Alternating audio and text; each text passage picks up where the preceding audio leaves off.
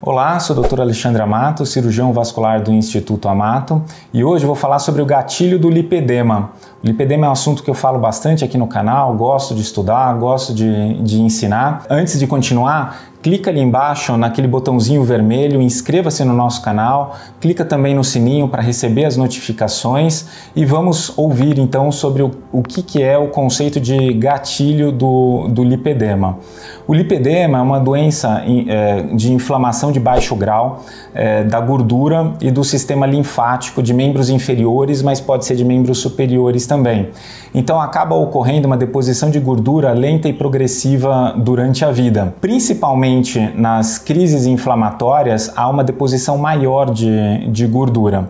Mas aí vem a pergunta: o que, que desencadeia essas crises inflamatórias? Porque existem mulheres que carregam o gene do, do lipedema, mas acabam não é, apresentando a doença, ou seja, não tiveram um gatilho inflamatório, nada que tenha iniciado esse, esse processo.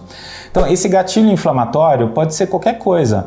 Pode ser desde o uso de alguma medicação, eh, por exemplo, um corticóide por um longo prazo, ou uso hormonal eh, maior ou menor, pode ser por anticoncepcional ou por uma reposição hormonal mais futuramente, mas também pode acontecer por causa da alimentação.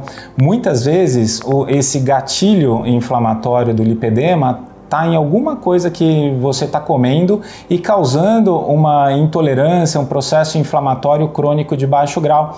E aí você mantém essa, essa inflamação sempre numa. Né, é, e colocando às vezes numa crise inflamatória quando come é, de forma descontrolada. Então, muitas vezes, identificando essa, esse fator na alimentação, você diminui essas crises inflamatórias e acaba diminuindo também a deposição da gordura. Outros eventos também podem desencadear a inflamação. Então, por exemplo, uma cirurgia. Eu tenho pacientes que fizeram cirurgia de varizes, não sabiam que, que tinham lipedema, e aí o procedimento, né, que acaba cutucando a, o subcutâneo, acaba desencadeando um processo inflamatório e tem um pós-operatório muito mais uh, dificultoso, com dor, com inchaço, do que um pós-operatório esperado de uma cirurgia de varizes normal. Então, voltando na, olhando todos esses gatilhos, né, a gente pode ver que a alimentação é o, o fator que está comum a todas, né? Todo mundo come, não tem, não tem como fugir disso. Então, existem algumas maneiras de se identificar o, o fator inflamatório principal é, na alimentação. Então, uma delas é seguir uma alimentação anti-inflamatória, uma lista de alimentos que pode e que não pode comer. Então, isso é divulgado, o nutricionista passa, tem na internet, as pessoas saem tentando várias listas. A questão é que ninguém é igual a outra pessoa. Então, não tenho como ter certeza que uma lista que funcionou para uma pessoa vai funcionar para outra. A gente pode falar de probabilidades.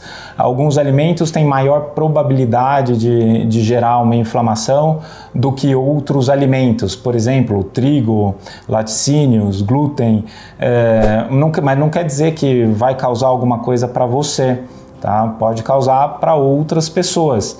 Então essas listas elas servem é, como um ponto de partida, mas muitas vezes não são definitivas. Você vai ter que ter um autoconhecimento maior para chegar no, no, no, nos alimentos principais no seu caso.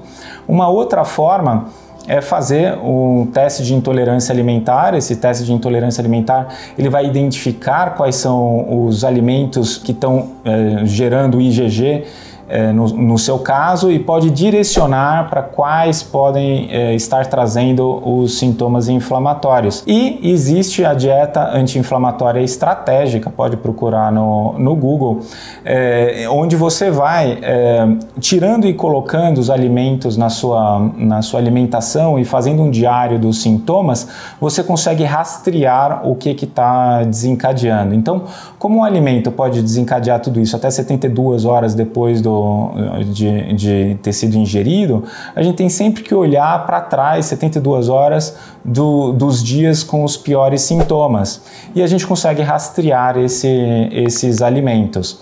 Então, fazendo isso, você consegue é, identificar o gatilho de uma crise inflamatória do, do lipedema. E essas crises inflamatórias podem acontecer em qualquer pessoa, mesmo em quem não tem é, lipedema.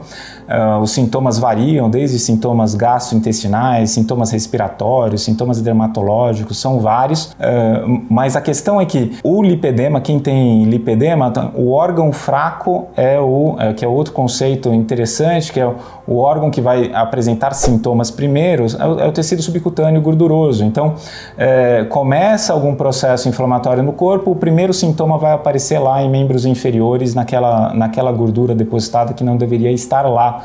Então, é, esse é o, o, o, conceito aí de gatilho de inflamação do, do lipedema. Gostou do nosso vídeo? Inscreva-se no nosso canal, compartilhe com as suas amigas, clica lá embaixo também no, no sininho para receber as notificações dos próximos e até a próxima!